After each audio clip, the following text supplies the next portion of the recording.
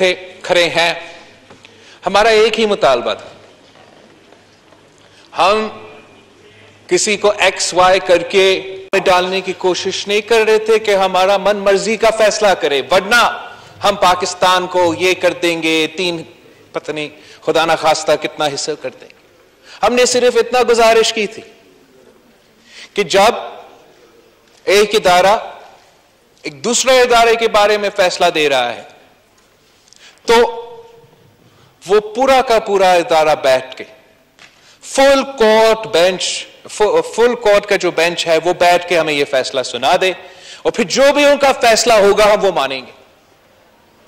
ये हमारा मुतालबा सिर्फ़ वज़ीर आला पंजाब के इलेक्शन के लिए नहीं था।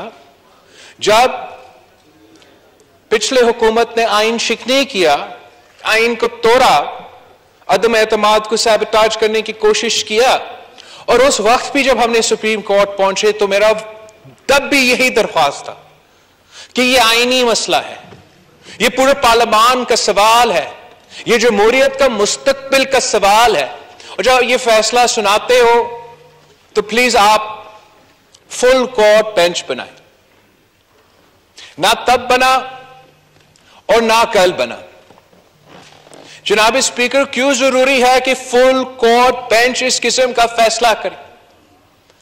इसलिए ज़रूरी है सर कि हमारा जो आला अदलिया है, जो इंसाफ का इदारा है, जिनका काम है, जिनका ज़िम्मेदारी है कि आईने पाकिस्तान का डेफिनेशंस दे एक्सप्लेनेशंस दे,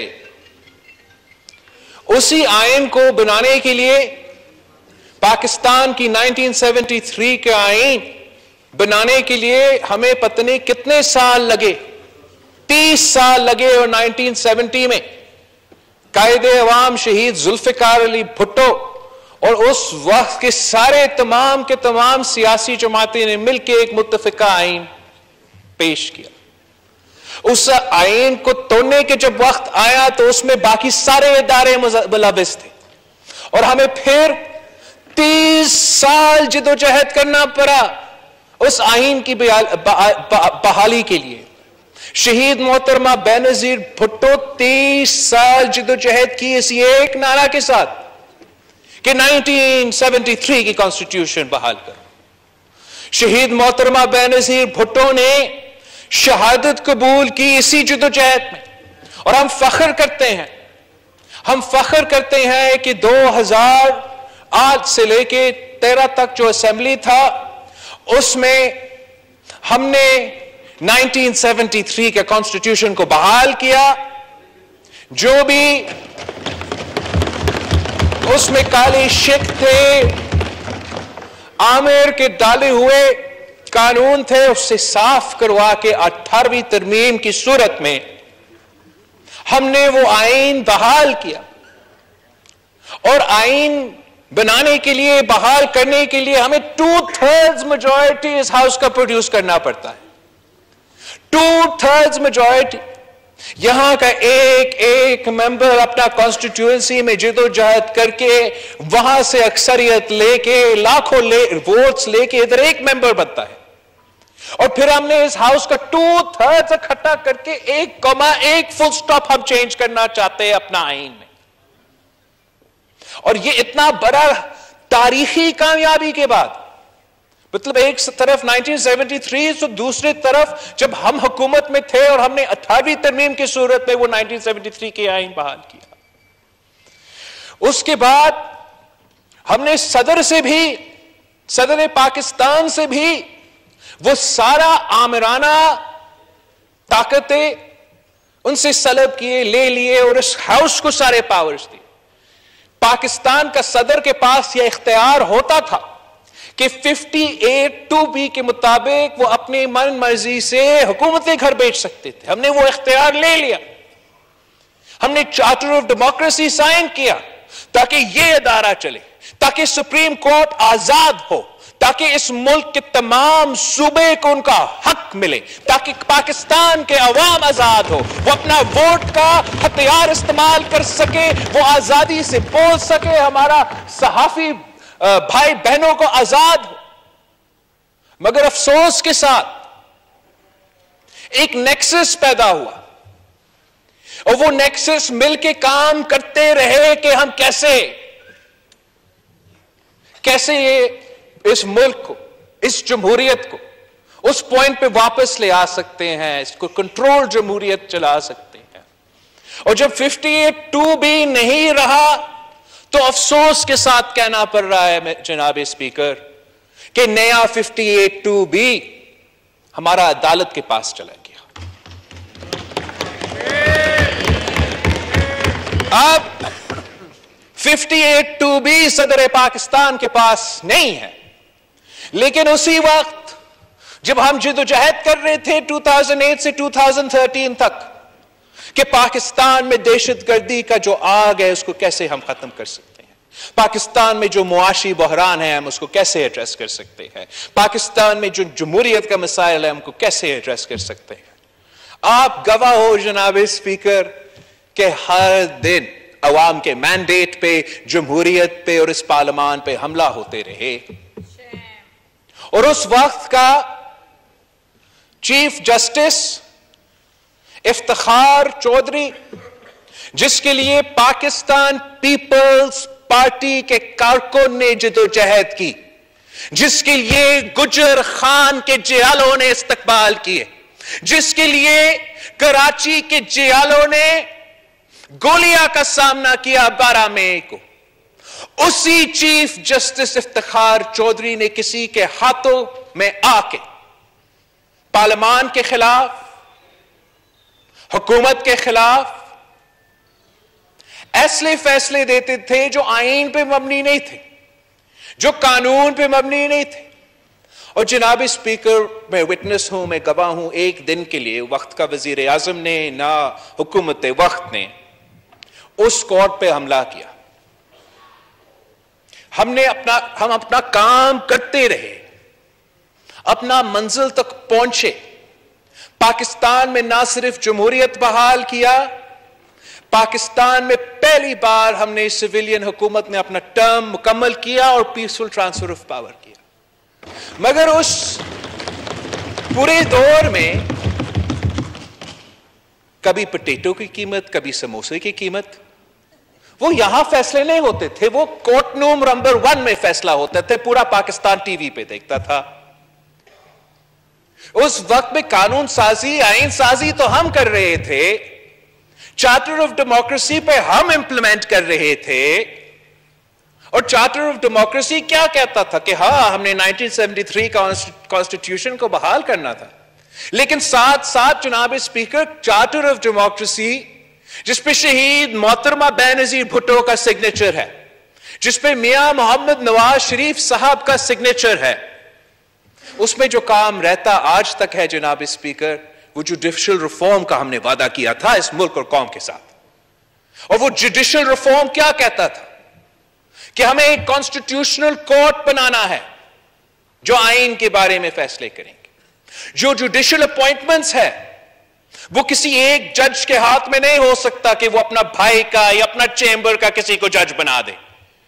जुडिशियल अपॉइंटमेंट का जो प्रोसेस है, ये हाउस करेगा। और हमने आईनी तरमीम किया। हमने तरमीम किया कि यहाँ ऑपोजिशन भी बैठेगा, हुकूमत भी बैठेगा लॉ मिनिस्ट्री भी बैठेगा, सारा सुप्रीम कोर्ट बार एसोसिएशन सबका नुमाइंदगी होगा। और हम फैसला करेंगे कि कैसे हम अदलिया का अदालत का तैनाती कैसे होगा। और फिर इस हाउस को, वक्त का वज़ीर आज़म को, वक्त का वज़ीर कानून को धमकी दिया गया कि आप ऐसे काम ना करें। आप नाइनटीन अमेंडमेंट पास करें, वापस हमें अपना अख्तियार दो, वरना हम आपका अठारहवीं तरमीम को उड़ा देंगे। और फिर जनाब स्पीकर मैं आज हाउस का फ्लो पे मानता हूँ कि यह हमारा गलती था। यह हमारा गलती था कि हम वो उस धमकी में आ गए। नाइनटीन अमेंडमेंट पास किया। हमें कभी नाइनटीन अमेंडमेंट नहीं पास करना चाहिए था। हमें कहना चाहिए था। हमें उस वक्त का अदालत को कहना चाहिए था कि यह आईन पाकिस्तान है आपने ये मानते हो तो घर चले जाए। मगर हम इस आइन को नहीं तब्दील करें ये आईन पाकिस्तान है। हम आईन पाकिस्तान की जो जिदोजहद है, वो पाकिस्तान पीपल्स पार्टी का जो किरदार है, वो आपको भी पता है, उस कोर्ट को भी पता है। तो कौन हमें बता सकता है कि इस आइन के मुताबिक क्या होना चाहिए? अफसोस के साथ, तब हम नहीं माना। उस वक्त का ऑपोजिशन शायद इस किस्म का जुडिशल एक्टिविज्म से खुश था। मगर फिर उनको मौका मिला। हम तो एक कोलिशन गवर्नमेंट था, उस वक्त टू थर्ड्स मेजोरिटी के साथ। वज़ीर आज़म नवाज़ शरीफ साहब इस कुर्सी संभालता था। और एक बार फिर हमने देखा कि आइन के फैसले कहीं और हो रहे थे। आइन के मुताबिक डिसीजंस कहीं और हो रहे थे। और ये हमारा नहीं। मगर बहुत से अवाम का राय है कि जिस तरीके से और जिस अंदाज से अदालत का रोल था, उस दौर में वो मुनासिब नहीं था। और एक टू थर्ड्स टू थर्ड्स की जो अक्सरियत रखने वाले वज़ीर आज़म को आपने घर भी बेच दिया, पार्टी प्रेसिडेंट उसको आ, का इख्तियार उसे ले लिया। उनके सेनेटर्स को ज़बरदस्ती इंडिपेंडेंट लड़वा दिया। और जनरल इलेक्शंस के वक्त हमारा वाइट पेपर मौजूद है। आई एम श्योर दूसरे पॉलिटिकल पार्टीज़ ने 2018 के इलेक्शंस के मुताबिक अपना वाइट पेपर आ, बनाया होगा। जो रोल और किरदार चंद जजेस के था, के थे उस इलेक्शंस में साफ़ नज़र आ रहा था कि वो इलेक्शन कैंपेन पा, में हिस्सा ले रहे थे। जिनाब स्पीकर इस हाउस को देखना चाहिए कि 2018 का इलेक्शंस हो बाय इलेक्शंस हो, जो इंडिविजुअल्स सियासत से ताल्लुक नहीं रखते हैं, वो इन पीरियड्स में क्या कर रहे थे? मैं आपको बता सकता हूँ कि 2018 के इलेक्शंस में चीफ जस्टिस साकिब निसार साहब हमारे खिलाफ इलेक्शन मुहिम चला रहा था। वो लड़काना पहुँच के तकरीर करता था, दूसरा जज को थप्पड़ मारता था, कराची पहुँच के कोई और लेक्चर देता था। पोलिंग डे पे मेरा उम्मीदवार जो जंग से लड़ रहा था, फैसल साले हयात साहब, वो इलेक्शन जीत चुका था। उसका रीपोलिंग हो रहा था। और जब रीपोलिंग होता है तो चीफ जस्टिस पाकिस्तान उसके मुखालिफ के पास पहुँचता है।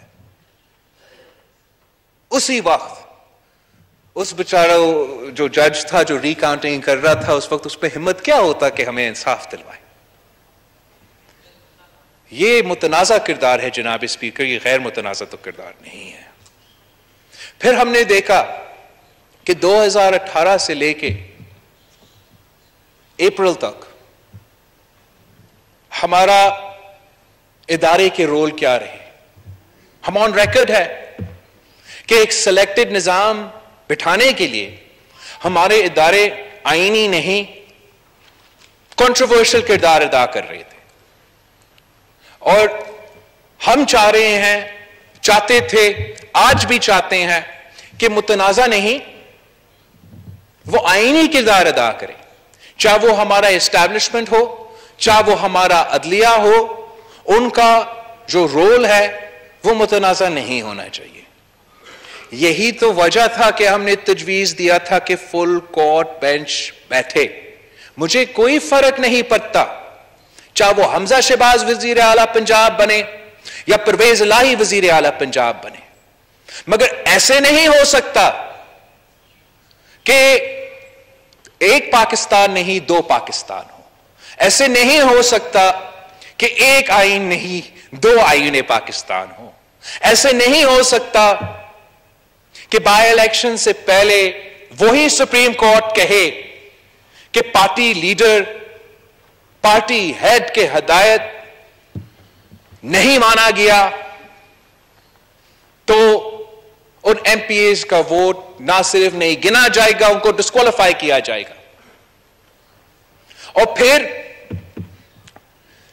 एक महीना के बाद वही कोर्ट कहे कि नहीं पार्टी लीडर नहीं पार्लियामेंट्री पार्टी का चलेगा और उनका वोट गिना जाएगा। ऐसे नहीं हो सकता है कि एक पाकिस्तान में दो आइन हो। ऐसे नहीं हो सकता है कि हम सब के लिए एक दूसरा आइन और एक किसी लाडला के लिए कोई दूसरा आइन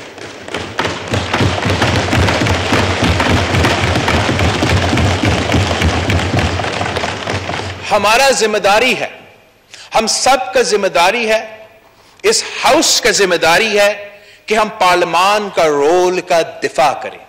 हमारा काम आइन बनाना है और उनका काम है हमारा आइन को इंटरप्रेट करना। उनका काम नहीं है कि वो खुद आइन में तरमीम लेकर आए। ऐसे नहीं हो सकता है कि हमें जाना, जाने देने पड़े, कुर्बानियाँ देने पड़े, तीस साल जदोजहद करना पड़े टू जॉर्ट पेन पे आईने पाकिस्तान को तब्दील करे। इस मसला को जब तक हम एड्रेस नहीं करेगा जना, करते जनाब इस हम पाकिस्तान का जो जमहूरियत का सफ़र है पाकिस्तान जो एक जमहूरी मुल्क बनना चा, चा, चाहता है और हम सब चाहते हैं कि इसको एक जमहूरी मुल्क बनाए वो सफ़र नामुकम्मल होगा। जब तक हम जुडिशियल रिफॉर्म्स नहीं करें जब तक हम अपना जुडिशरी को एम्पावर ना करें जैसे यही जुडिशरी ने फैसला किया था ना जनाब स्पीकर कि हुकूमत का ये नहीं मतलब एक वज़ीर आज़म हुकूमत का मतलब है कैबिना पाकिस्तान का कैबिनेट। और वज़ीर आज़म खुद को कोई फैसला नहीं ले सकता। आपको कैबिनेट का अप्रूवल चाहिए। तो वैसे ही the Supreme Court of Pakistan is not just the Chief Justice of Pakistan it is each and every member of the Supreme Court और अब वक्त आ गया है जनाब स्पीकर। मैं आपसे मुतालबा करता हूँ ज्वाइंट पार्लियामेंट्री कमिटी बना दे सेनेट ऑफ़ पाकिस्तान उसमें हो नेशनल असेंबली ऑफ़ पाकिस्तान उसमें हो, हुकूमत के नुमाइंदे हो, हमारे ऑपोजिशन के नुमाइंदे भी बैठे, हम कानून साजी करें और हम फैसला करें। हम फैसला करें कि कितने जजेस को बैठना चाहिए जब आपका कुर्सी के सवाल आता है। कितनी जजेस को बैठना चाहिए, इसलिए सर ये अभी से नहीं है, अभी तो हाँ दो डेप्यूटी स्पीकर पंजाब का फैसला है। लेकिन डेप्यूटी स्पीकर पंजाब का फैसला से पहले तो हमारा इस कुर्सी का सवाल था।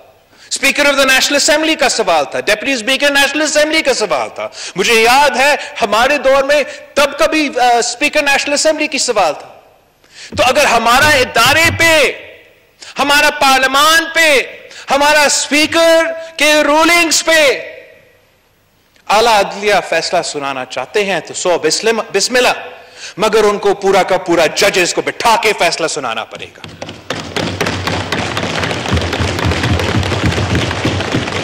जजेस का चुनाव में सुओ मोटो का इख्तियार में, अपील के प्रोसेस में, इंसाफ के मुताबिक हमें फैसला करने पड़ेंगे। जनाब स्पीकर, पाकिस्तान पीपल्स पार्टी तैयार है जुडिशल रिफॉर्म्स के लिए। ये शहीद मोहतरमा बेनजीर भुट्टो का चार्टर ऑफ़ डेमोक्रेसी का अनफिनिश्ड एजेंडा है। आप कदम बढ़ाए बढ़ाए पार्लियामेंट्री कमेटी बनाए ताकि हम इस इशू को एड्रेस कर सकते हैं।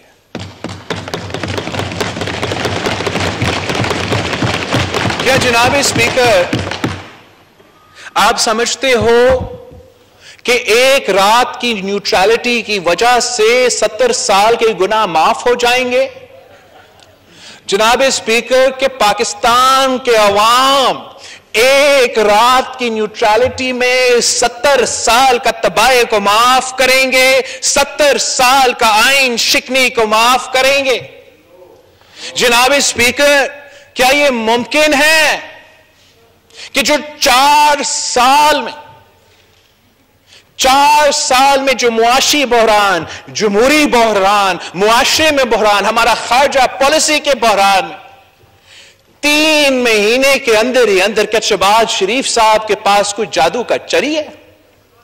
कि तीन महीने के अंदर ही अंदर हम इनका क्या चार साल के आ, किया हुआ काम को सही कर सकेंगे? एक कोई एक पाकिस्तानी भी ये नहीं एक्सपेक्ट करते हमारे हमसे जनाब स्पीकर वो सिर्फ़ इतना एक्सपेक्ट करते हैं कि पिछले हुकूमत की तरह हम झूठ नहीं बोलेंगे। पिछले हुकूमत की तरह हम अवाम को लावारिस नहीं छोड़ेंगे। उनके हर मुश्किल के में उनके साथ खड़े होंगे। पाकिस्तान के अवाम को पता है कि पिछले चार साल में खान साहब ने जो कर्ज जमा किया, वो तो 1947 से लेके 2018 तक का पाकिस्तान का कर्ज एक तरफ़ और 2018 से लेके 222 तक पाकिस्तान का कर्ज दूसरा तरफ़। जिस तरीके से इस शख्स ने हमारे मुआशरे को, हमारे मीशत को बर्बाद किया, मैं नहीं मानता हूँ। मैं ये प्रोपेगेंडा नहीं मानता हूँ।